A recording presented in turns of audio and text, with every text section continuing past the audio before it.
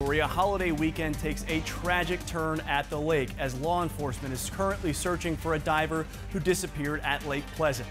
Thanks for joining us for 12 News at 10. I'm Mitch Carr. Tonight, more than 24 hours after that diver went under, the Maricopa County Sheriff's Office is calling this a recovery effort rather than a rescue mission. And it's just one of two major incidents at the lake this holiday weekend.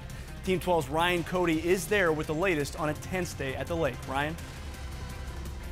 A tense day on the water, a tense day on the roads, and a tense day in the desert areas surrounding Lake Pleasant. First, a recovery mission as the Maricopa County Sheriff's Office dive team is attempting to find the body of a missing diver who never resurfaced after going under with two of his friends on Saturday afternoon. 900 at Lake Pleasant. All units respond acknowledged on Lake South is clear at 1753. The radio call deploying authorities to the dam at South Lake Pleasant.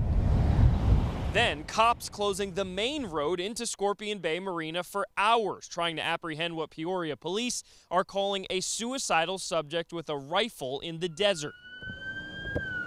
Eventually, authorities taking the man into custody without harming himself or anyone else in the process, then taking him to a hospital for evaluation. So, a very busy day for law enforcement on what is typically a very busy holiday weekend here at Lake Pleasant.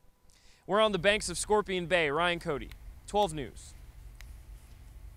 Thank you, Ryan.